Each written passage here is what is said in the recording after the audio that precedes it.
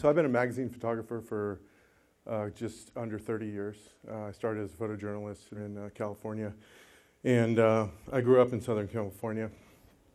And in some way, I kind of feel that uh, my dad, who was not a photographer, who was a welder, his photograph of the Apollo 11 launch may very well have ignited uh, my lifelong passion for photography. Many people feel that when they experience, they, they experience a moment firsthand, there's a real clear anchor to that point in time. And we have this paradigm of that experience that, that lives with us. After that launch took place for the next several days, humankind would be united as a species. And my dad realized that this was a significant moment. So much so that he got our camera off the shelf, family camera, dusted it off, and he had it at the ready to take a picture of the launch off the TV screen. This thing starts to lift off the pad, and I remember the distinct pop of the flashbulb. My dad took that picture, and it's, it's really cemented in my memory. Sent the film to the pharmacy, the local pharmacy. Film came back, and we had this perfect photograph of our TV set. the flashbulb had obviously washed out the image on the screen. Hence, my dad's career as a welder really burgeoned after that. And I was incredibly disappointed. I remember I was so disappointed. But now to me, it's almost, it's like almost a religious relic to me. Like it takes me there.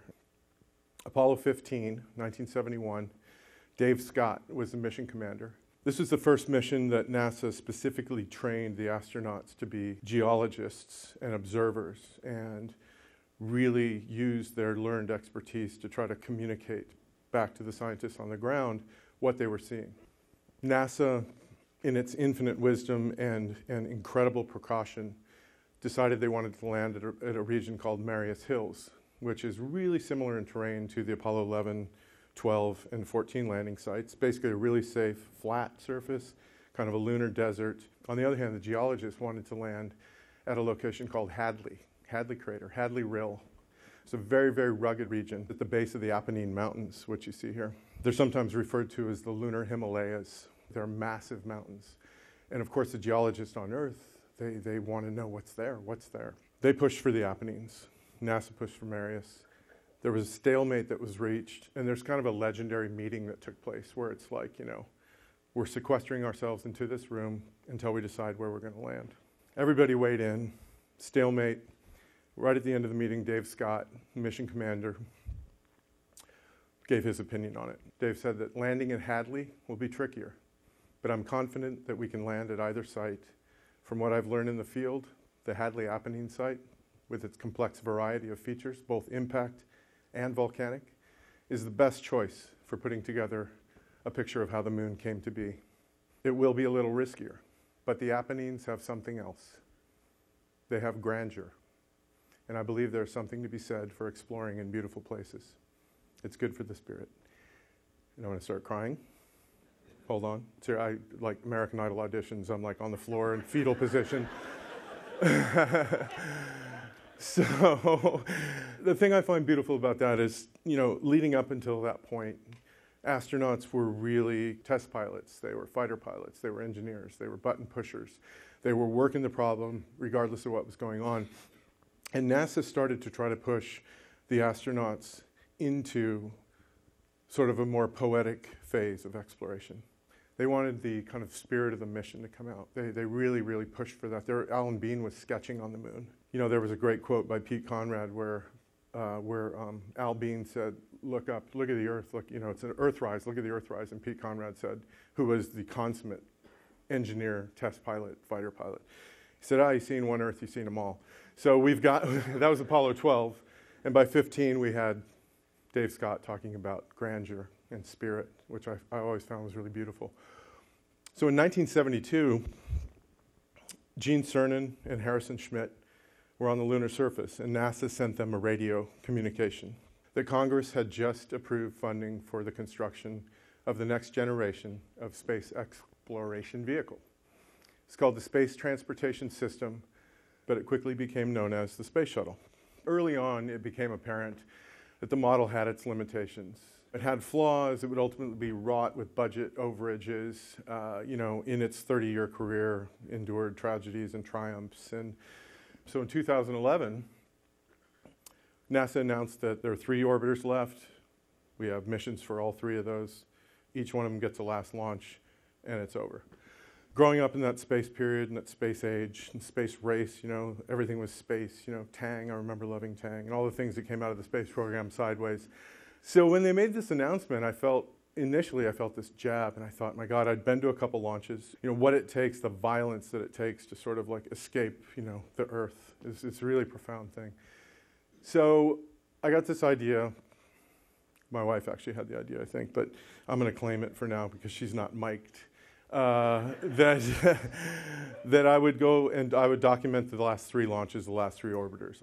So I went about designing a way to shoot the launches. There's so much infrastructure involved in just getting this thing to work. I wanted to photograph the result of this incredible effort. So I decided to photograph the infrastructure, the buildings, the hardware, the vessel. They're beautiful to look at. They're battle scarred. They're patched. You know, I went under one of the shuttles and the thing had patches everywhere, all over it. You know, you could just tell it had just been through hell, really, on reentry. I went in the vehicles. There was a sacredness to the inside of the vehicles all the shuttle interiors and the ancillary stuff and the processing and the spacesuit processing stuff, all of the engine processing, fascinating. I mean, these are industries in and of themselves. These are space M&Ms, which I actually really liked. It's the old mission control from the Apollo era, which actually up until 96 worked on the shuttle program. So this all came together in, in a book that I released in 2012 called Last Launch. It was my third book, and it just is a chronicle of this, of this program. The only person that appears in the book is this man walking down the ramp away from pad 39A, which amazingly is the same pad that the Apollo 11 launch took place. So photographing the launches themselves, this is a logistics thing. Like, how do you do this? You know, the shuttle's basically in two minutes is completely out of sight. And I want to compress that into images, and I want to, I want to be able to expand that time. So this, uh, this is the shuttle actually on the pad. This is similar. This, this black part right here is the flame trench. So you see these huge solid rocket boosters here. When the, they ignite, fire comes down through the pad into the flame trench, and it goes through this big port.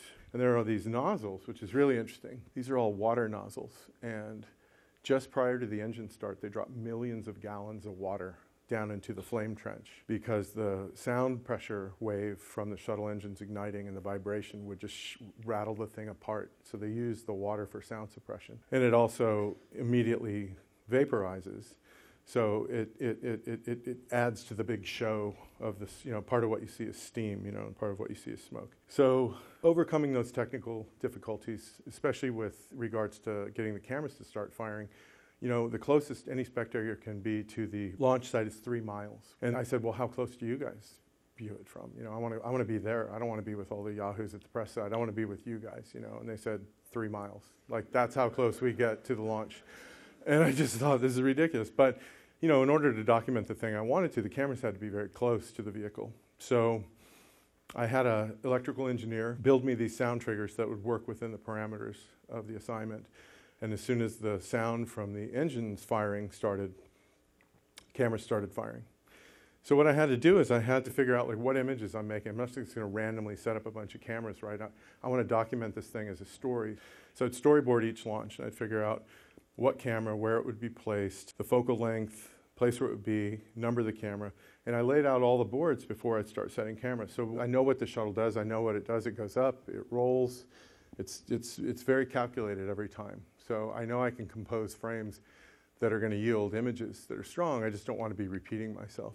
So this is the press site. This is the old uh, launch clock from the Apollo era, kind of a relic of that era. And this is how far away I am from the actual launch. So this right here is the launch tower. And that's, here's, here's this bay, and here's our clock, and there's the tower. And literally the first time I thought, this is ridiculous. Look how far away I am. This is not going to be cool. It could not be any further from not cool. I consciously didn't photograph any landings. It was all about this gesture, you know, this grand gesture. You know, to me, a landing was, it was almost like, landings are kind of bittersweet. You know, you're happy the vehicle returned with the payload and the experience that was had by all aboard, but there's something about the grandeur that we talked about earlier that, that was so, such an expre- expression of optimism for me. So here we go.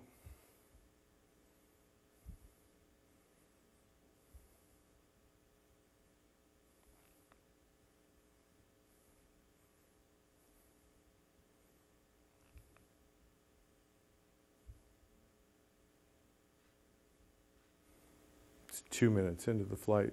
It's uh, 44 miles downrange. At the tip of that smoke column, you can just see the engines just as they're ready to burn out. This is Atlantis. I love this angle for the shuttle. I, I call it her sexy angle. I just, I really like that angle for her.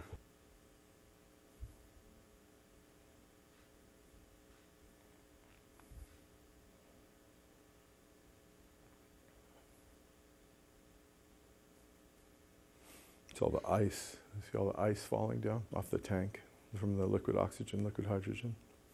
These are always tricky to set the frames for because, you know, I'll, I'll set the frame at the pad and then just tilt up to the sky and lock the camera off, set the focus, and walk away from it. It's very unsettling to look through a camera lens and all there is is sky. This Atlantis. I was also really fortunate that for the three last launches, I had three different types of weather. So I got some very distinct looking, unique images from each launch. This is one of NASA's helicopters that they fly around during the launch just to watch things. That's the column.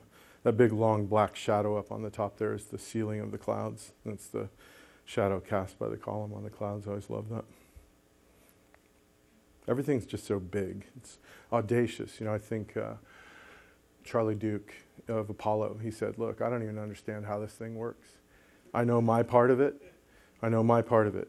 This is audacious that we'd even try this thing, but I can tell you what, it's not going to fail because of me. I know how to do my part of this thing. And I love that. I love how optimistic that is. You know, it's just this belief, it's this faith that these thousands of people, thousands of people that have been working on this thing have all put their piece into it. And it's just this, it's, there's such a beauty to it. There's a great Neil Armstrong quote, which is uh, Mystery creates wonder, and wonder is man's desire to understand.